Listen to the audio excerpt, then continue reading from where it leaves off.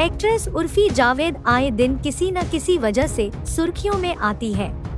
और जहाँ इस बार जब उर्फी ने खुद के अरेस्ट को लेकर एक फेक वीडियो बनाया तो उनकी सच में मुश्किलें बढ़ गई, क्योंकि मुंबई पुलिस ने उर्फी के खिलाफ एफआईआर रजिस्टर की है, जिसमें उन पर फॉर आईपीसी की धाराएँ लगाई है।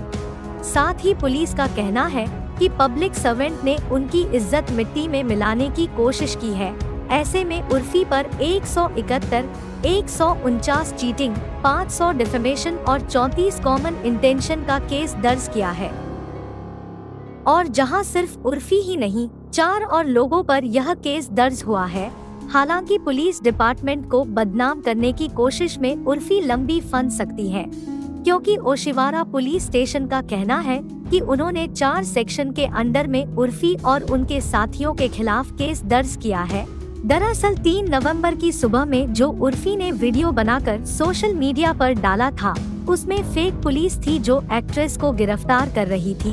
और यह गलत तरीका है और ये करके उर्फी ने पुलिस को बदनाम करने की कोशिश की है। इसीलिए ओशिवारा पुलिस ने ट्वीट कर कहा है कि केस पर पूछताछ और इन्वेस्टिगेशन जारी है, साथ ही फेक इंस्पेक्टर की गिरफ्तारी हो सकती है। साथ ही जो पुलिस की गाड़ी का इस्तेमाल वीडियो के लिए किया गया है, उसे भी जब्त कर लिया गया है। वहीं हम आपको बता दें कि उर्फी अक्सर ही अपने कपड़ों को लेकर विवादों से घिरती नज़र आती है। हालाँकि इसी के साथ उर्फी ने भी एक वीडियो शेयर किया है, जिसमें वो बता रही है कि आखिर उन्होंने 3 नवंबर की सुबह ये सब ड्रामा क्यों किया। दरअसल, उर्फी अपना फ़ैशन ब्रांड लेकर मार्केट में उतर रही है।